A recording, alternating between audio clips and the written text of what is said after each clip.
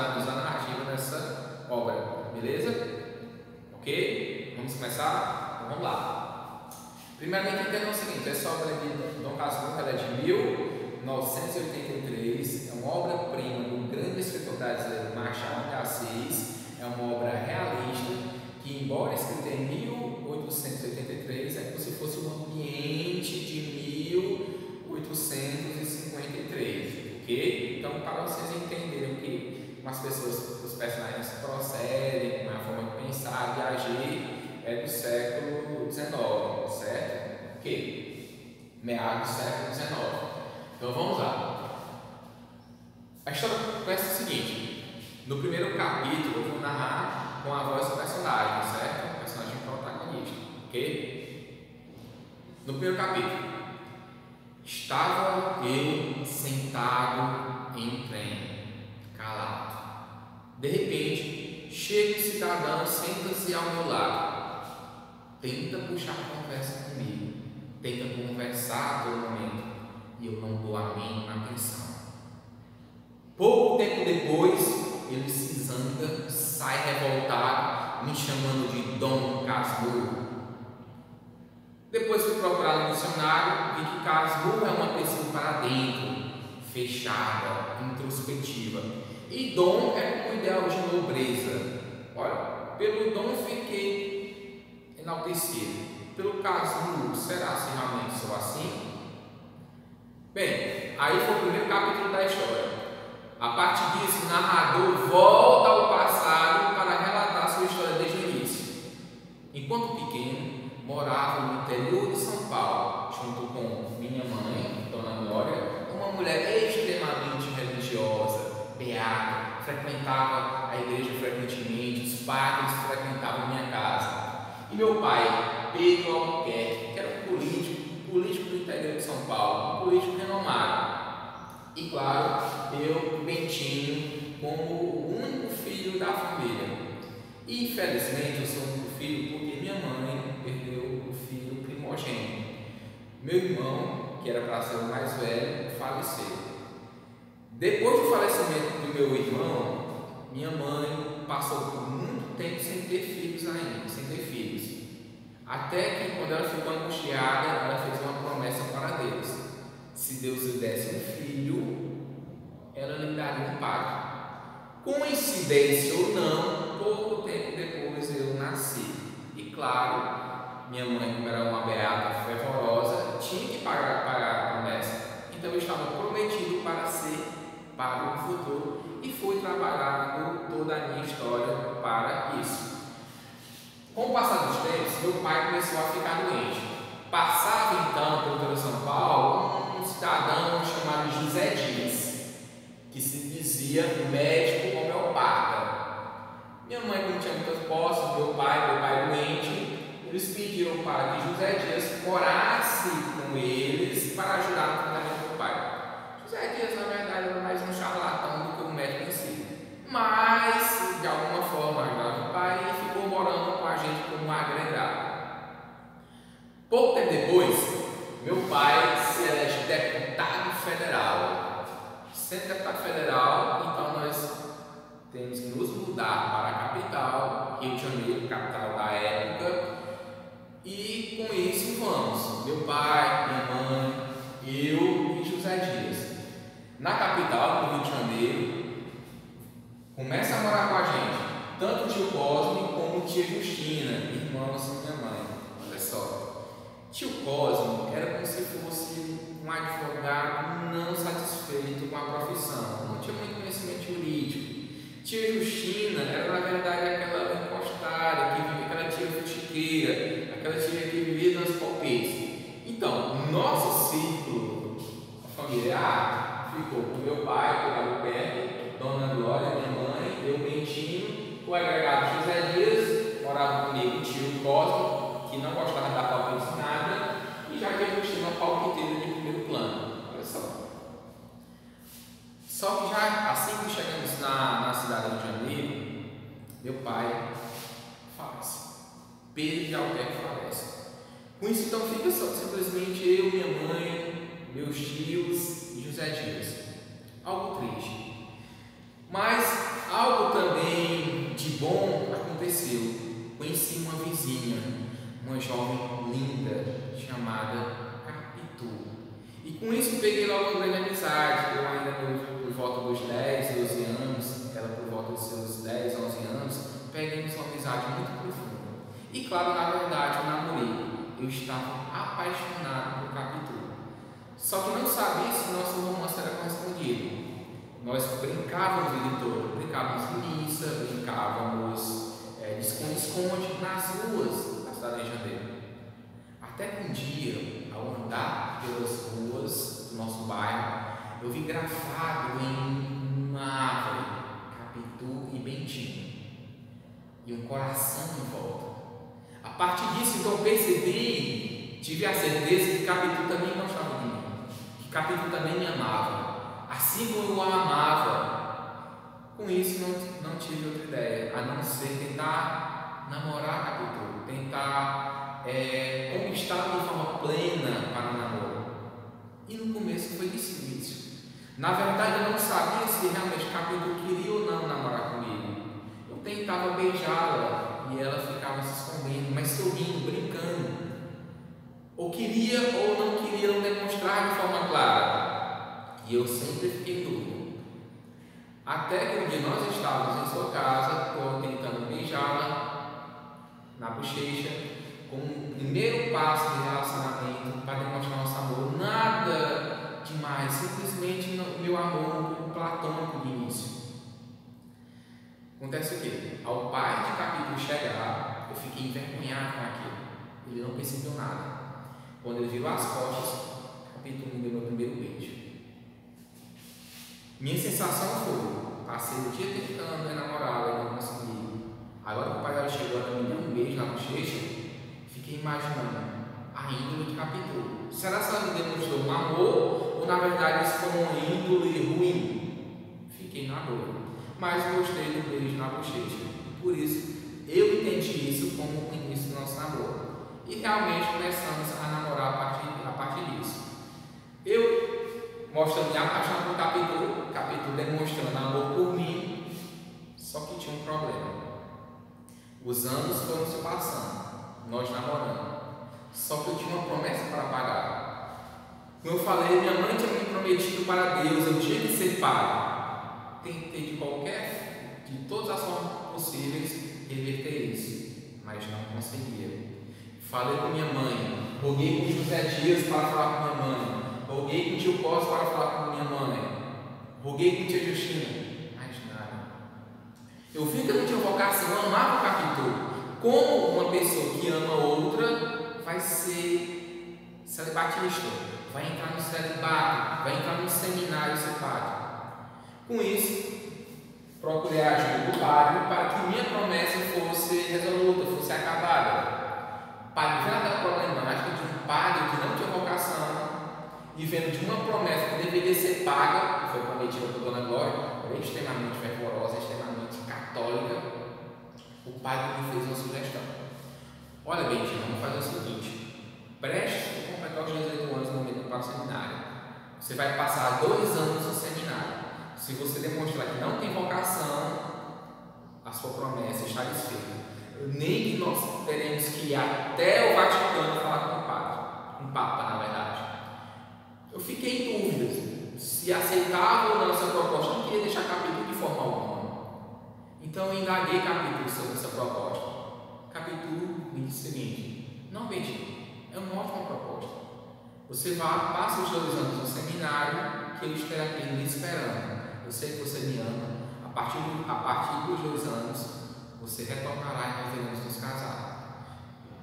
Com esse posicionamento capítulo, eu fiquei mais tranquilo de ir para o seminário, não querer ser padre, passar os dois anos e voltaria para casar com o capítulo e não iria quebrar a promessa de minha mãe, que eu também não queria fazer isso com ela. Então, vou para o seminário. No primeiro mês do seminário, recebi então um comunicado da visita de José Dias. Me perguntei, José Dias aqui? Será que tem alguém doente? Será que é minha mãe? Será que minha mãe morreu? Nesse primeiro pensamento que eu tive, eu imaginei o seguinte: se minha mãe morreu, eu não tenho mais que pagar a promessa. Me deu um certo alívio. Só que por instantes, logo imaginei: não, não. O que será que já aconteceu? Quando eu saí, José estava esperando e disse: Olha, Bentinho, na verdade não é nada. Sua mãe passou um dia doente, mas nada demais, mas ela quer passar um dia com você. Então eu saí do seminário, fui passar esse final de semana na minha casa. Só chegando em casa, mal minha mãe. Botei as malas na, debaixo da carruagem e fui até a casa de Capitu para vê-la. Chegando lá, encontrei a senhora Fortunata, mãe de Capitu. Perguntei por ela. Ela disse: Capitu está na casa da sua amiga, no bairro Botafogo, na casa de Sancha Gugel. Então, voltei para minha casa triste, esperando o Capitu retornar para vê-la, para namorá-la. Esperei toda a manhã, não chegou. Esperei toda a tarde, Capitu também não chegou. Esperei até as 8 horas da noite, Capitu não chegou. Já injuriado, sai na porta do mentira, Justina, e fala: Está esperando Capitu ainda? Não percebeste que ela deve estar lá no bairro do Botafogo, flertando com os meninos de lá? Fiquei injuriado mesmo momento, tanto com minha tia Justina por essas palavras, como o medo dela estar realmente certa. Com isso, não pensei de outra forma. Fui caminhando até o bairro Botafogo para ver realmente o que o capítulo estava fazendo. Cheguei à casa do senhor Rogel, bati na porta. Ele atende, ele abre. Perguntei firmemente: Capítulo está aqui? Ele, meio sem graça, responde: Sim, está lá no quarto. Comecei a entrar na porta, comecei a entrar pela porta, me dirigi na sala até o quarto. Quando fui abrir a porta do quarto para encontrar o que o capítulo estava fazendo lá dentro, me deparei com o capítulo na cama, deitada junto de sua amiga Sancha Gugel. Na verdade, Sancha Gugel estava doente, febril, o capítulo estava ali cuidando dela. Inclusive, o senhor Gugel disse: Olha, o capítulo é muito prestativo, passou o dia todo aqui cuidando de minha filha e eu pedi para que ela ficasse aqui à noite, já que Sancha não tem mãe, são pais, na verdade, são viúvo e, e, e, e pai, na verdade, membro único com pai e Sancha. Com isso, aliviou meu coração. Conversei com o capítulo o resto da noite, retornei para casa e no outro dia retornei para o seminário. No seminário fiz uma grande amizade com um jovem chamado Escobar, foi um grande amigo do seminário. E tanto foi tanto meu amigo que ao final de semana, quando vinha retornava para a minha casa, comecei a trazê-lo comigo. Inclusive, eu namorava com o Capitu, ele também começou a namorar com a sua amiga Sancha Gugel. Vejam só, nem eu nem Escobar nós tínhamos nenhum dom cenarista, nenhum dom para. E o tempo foi passando e uma grande amizade, uma amizade muito forte entre e Escobar, que Escobar foi quem me tirou do sufoco. Escobar foi quem teve uma ideia.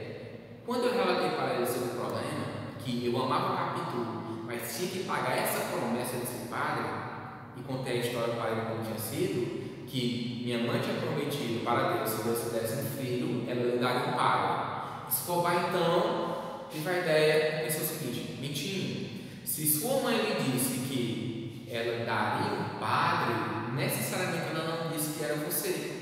Então pode ser outra pessoa pagar a sua promessa. Pentinho logo imaginou a única solução que haveria. Então logo, ao final de semana, ele correu para sua casa, contou para sua mãe isso, contou para o pai. O pai imaginou assim, que realmente tem razão. Com isso, a dona Glória resolveu então procurar um menino de rua, pegá-lo para criar e transformá-lo em padre, pagar os estudos dele no seminário. Perfeito. A solução perfeita. Dessa forma, então, então Bentinho está livre da promessa, sem respeitar sua mãe, pronto para casar com o capítulo. Isso acontece. Bentinho sai do seminário e casa-se com Capitu, com a jovem Capitu, Capitolina. Pouco tempo depois, Escobar também, que não tinha vocação para se casa também com a sua amiga de Capitu, Sancha. E os dois, olha só, perfeito, os dois grandes amigos, cada com duas grandes amigas, um relacionamento agora perfeito. Dois, dois é, na verdade, dois casais sempre vivendo juntos, sempre viajando juntos, sempre saindo para jantar juntos, um frequentando a casa do outro. Capitu Bentinho logo tinham vontade de ter um filho, mas tinham certas dificuldades. Assim como o pai dele demorava muito é, para sua esposa engravidasse. Logo, primeiramente, mês casando depois, Escobar engravida Sancha e tem, na verdade, uma filha. Em homenagem ao casal, eles dão a filha o nome Capitolina, né? que na verdade é o nome de Capitol. Eu não sei se é uma homenagem, na verdade, é algo ruim, né? porque Capitolina é uma pessoa sexual. Né? O pai fazer isso é uma maldade muito grande. Mas então, Capitolina. Ok. Acontece agora, olha, veja, vejamos o que acontece agora em diante. De repente, Betinho conta que ao chegar, chegar em minha casa, minha mãe, minha, minha esposa aborda que Escobar tinha passado o dia ensinando como fazer contas domésticas. Escobar era contador. E quanto Escobar tinha ajudado nas despesas do mês? A gente não achou isso um pouco normal, tranquilo, amigo fazer isso. Só que ficou um pouco encabulado com aquilo. Né? Ao sair de casa para o seu escritório, que tinha se transformado em advogado, ele esquece um documento. Então ele faz a volta na rua, ao retornar para a sua casa, esse cobaia está saindo da sua casa. Ele imagina, desce o carro e fala: Escobar, você por aqui? É, vim vir aqui, você não estava, então já estava saindo. Vou falar com você sobre o documento. Aí Betinho, não, já tinha me mandado esse documento. Ah, eu não sabia, não me lembrava. Então tudo bem, isso era isso mesmo. Bentinho ficou meio apreensivo com aquilo. Outra situação, está Bentinho e Escobar em jogo de futebol da rua. E acontece um caso de adultério. E no meio da conversa entre amigos, conversa entre boleiros, Escobar fala: já pensou, Bentinho, se isso acontece com você? Então, de brincadeira. Só que Bentinho ficou injuriado, pensando naquilo, pensando no que o amigo tinha dito em relação a ele e captou. Com isso, pouco tempo depois, capítulo então diz para Bentinho que está grávida. Que realmente o filho tão almejado, o filho tão esperado, vai surgir, vai aparecer.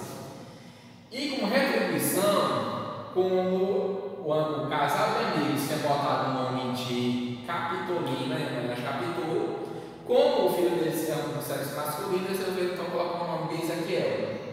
Por que Ezequiel? Porque o verdadeiro nome de Escobar é Ezequiel Escobar. Muito bem, até aí tudo bem, sonho filho tão esperado. Ocorre que o tempo vai passando e Bentinho, quando está no escritório lá fazendo uma petição, o filho dele, médio de 5 anos de idade, entra na sala do escritório, na verdade. E ele vê uma grande semelhança entre seu filho Ezequiel e Escobar. Ele acha, ele vê algo muito parecido. E com isso ele fica na mente. Por que tanta semelhança com Escobar? Nesse momento que ele está pensando, entra a empregada da casa no escritório e fala: Bentinho, tem uma má notícia. Seu amigo Escobar acaba de falecer. Ele foi banhado na, na praia e morreu afogado. Bentinho, para o que está fazendo, para de pensar na questão do adultério por um minuto e escreve um grande relato, escreve um grande texto de memórias sobre o seu amigo para ler no funeral. Lá no funeral, enquanto Bentinho está lendo o texto de memórias para seu amigo, ele percebe que Capitu, perto do caixão, a prantos de a lágrima descendo dos seus olhos. E Luísa fica injuriada, quase fica tremendo, quase sem conseguir ler terminar a leitura. O público pensa que está, é, está na verdade homenageado, está lisonjeado, está na verdade triste pela morte do amigo, mas na verdade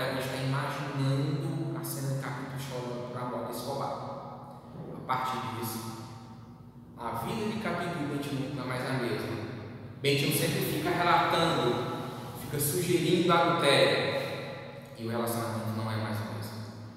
Por isso, ele resolve então ter uma ideia definitiva. Resolve então fazer uma viagem para a Suíça, levar Capitu e seu filho para a Suíça, para a. Lá, ele resolve então voltar para o Brasil e deixá-los lá. Claro, dinheiro, claro, uma estrutura, uma casa, mas deixá-los lá distante. E retorna para a Ginebra sozinho. Morando sozinho, de vez em quando ele mandou uma carta para Capitu, pedindo que ela mande fotos do filho. Claro que ele quer comparar seu crescimento escolar, ele é parecido realmente com Ezequiel, assim como ele imaginava quando era pequeno. Capítulo manda as cartas, manda as fotos. Ao completar 18 anos, o filho Escobar retorna para o Rio de Janeiro, retorna para ver seu pai, Pazul, mas com uma triste notícia, que Capitão havia falecido.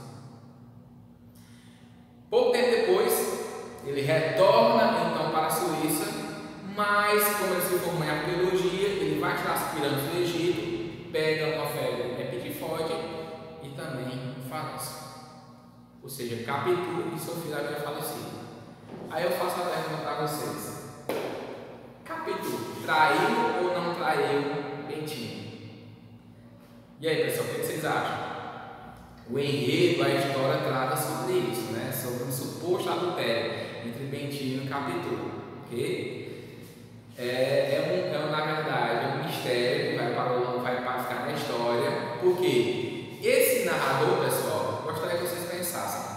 Na análise aí, foi contado, o personagem contou a sua história. Que tipo de narrador nós temos? Nós temos um narrador observador ou um narrador protagonista. E aí, qual a resposta? Narrador protagonista, não é? Narrador em primeira, narrador em primeira pessoa, protagonista. O próprio personagem principal está contando a sua história. Não é um narrador não é protagonista, nem um narrador em primeira pessoa testemunha. Por quê? Porque quem acontece as ações, com quem as ações acontecem, é quem está contando a história. E por esse fato de ser um narrador protagonista, por esse fato do próprio personagem principal contar a história, vemos que tem subjetividade.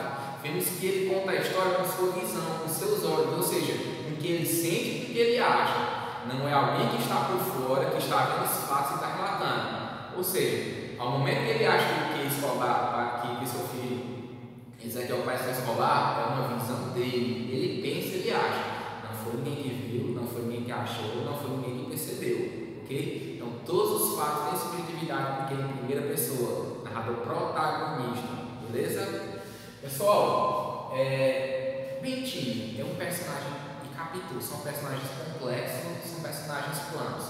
Veja só, pessoal, a complexidade desses personagens Durante toda a história, não podemos perceber se realmente Capitu era uma jovem apaixonada, uma mulher apaixonada por marido Bentinho, ou se realmente era uma mulher de má índole, porque não sabemos realmente se ela traiu. Todas essas sugestões são de Bentinho. Imagine só, ele ficou injuriado porque ela estava chorando no caixão do amigo, acreditando que ela estava chorando pelo amante. Pessoal, não é uma outra coisa. Será sem comum uma pessoa chorar à beira do caixão? Será sem comum uma pessoa chorar na beira do caixão de um grande amigo? Vejam só, não dá para perceber então se realmente o capítulo traiu ou não. Então são dois personagens complexos. Como também não pode perceber se Bentinho estava com razão ou na verdade é uma pessoa extremamente, é, é, como posso dizer, extremamente possessiva. Ambiente extremamente pensamento é, possessivo em relação ao capítulo, ok? Pessoal, qual, qual o tempo que se passa essa narrativa? Como eu falei, foi escrito em 1983, mas se passa em 1853, ou seja, o tempo passado. Mas as histórias acontecem de forma cronológica, então tempo cronológico espaço passado, e tempo passado, ok? Qual é o espaço? O espaço é o Rio de Janeiro, ocorre primeiramente um espaço aberto começa em São Paulo e depois vai para a cidade do Rio de Janeiro. Ou seja, não é um espaço, os espaços são abertos.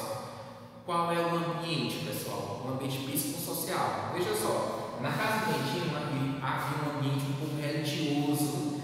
Por quê? Porque diversos padres frequentavam sua casa são mulheres extremamente religiosas. Só que também existe um espaço um pouco de fuxico, um espaço de intrigas provocadas pela Justina. Ok? Beleza? Qual é o foco narrativo? Narrador em primeira pessoa. Por quê? Porque o narrador é quem está, protagonista, é quem está contando a sua história. Então temos o narrador em primeira pessoa, narrador protagonista. Os personagens são protagonistas. Quem são os protagonistas? Nós temos Bentinho como protagonista, nós temos Capítulo como protagonista. Personagens secundários, nós temos Escobar, Ezequiel, Sancho, Capitolina, é, Dona Glória, o senhor Pedro Albuquerque, nós temos José Dias, Silvio Costa, Justina, e temos os coadjuvantes, né? Que são na verdade o padre, sendo o senhor Gugé, foram pequenas participações, a senhora Fortunata, com pequenas participações na história, beleza? Pessoal, aqui foi uma pequena análise da obra Dom Casimiro Machado de Assis, para que você possa entender os elementos da narrativa, certo? E aí galera do ano, estamos aqui novamente dando continuidade à análise da obra do Casimiro, procurando os elementos da narrativa, beleza? Então vamos lá, tenho certeza que vocês discutiram, a família, amigos, ou está em casa sozinho estudando, mas vamos ver aqui como fica realmente a análise da obra. Olha só, protagonistas, claro que eu sei que vocês encontraram, tanto Bentinho como Capítulo, ou seja, os personagens principais da história. Só que tem uma coisa, eles são personagens protagonistas complexos ou são planos? Pessoal, a resposta é: são personagens complexos.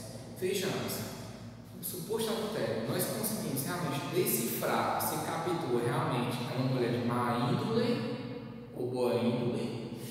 Eu acho que não. Ficou subentendido. Pelas informações passadas simplesmente por Bentinho, nós não conseguimos perceber se realmente Capitu havia traído ou não, se Capitu realmente tinha uma conduta má ou uma conduta boa. Nesse caso, por essa complexidade em relação a Capitu, a qualificamos ela como também uma personagem protagonista complexa.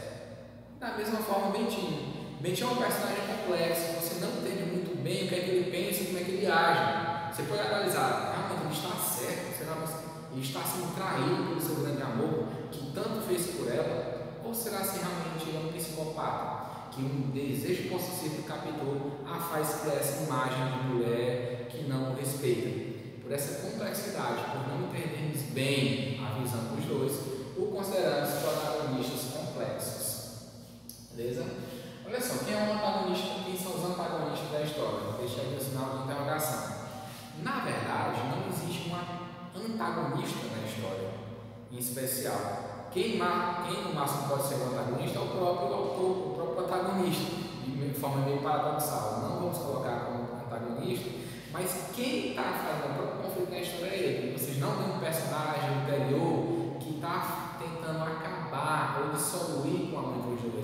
Existia uma promessa que, que, que, que tinha sido feita que deveria ser cumprida. No momento em que a promessa não foi mais necessária, acabou-se o problema, acabou-se o conflito. Ou seja, não há pessoas, personagens que tentem de qualquer forma destruir aquele relacionamento. Isso é uma promessa que não tinha sido feita. Então, podemos dizer que nessa obra não há um, um antagonista, na verdade, um vilão, de forma clara. O espaço. Espaço é aberto. Por quê? Porque ele se passa tanto no interior de São Paulo como no Rio de Janeiro ou seja, em locais abertos, em locais não só ambientes como dentro de uma casa, como dentro de um seminário, certo? Então, o espaço não é unívoco, ele não é um. São Paulo e Rio de Janeiro. Então, São Paulo inicia a obra e depois Rio de Janeiro, certo? O tempo, claro que passado cronológico. Percebemos que longo da narrativa é, é, vai abordando mais tarde, no final de semana, e essas marcas temporais é que fazem com que o tempo seja cronológico, tem marcação temporal. Uma obra literária, quando não essas passagens, essas marcações temporais, nós chamamos de tempo psicológico, quando o tempo passa simplesmente na mente dos personagens. Mas, havendo marcas, é, havendo marcas cronológicas, como amanhã, ontem, mais tarde, depois, semana passada, três anos depois, cinco anos antes, são marcas temporais que fazem com que o texto tenha um tempo cronológico. O ambiente, o ambiente, o espaço psicossocial onde a obra está desenvolvida. Percebemos, pessoal, que é um ambiente de desconfiança, ou seja, desde o seu primeiro encontro, é, Bentinho, com a protagonista, tem uma grande desconfiança em relação a Capitu. Isso vai percorrendo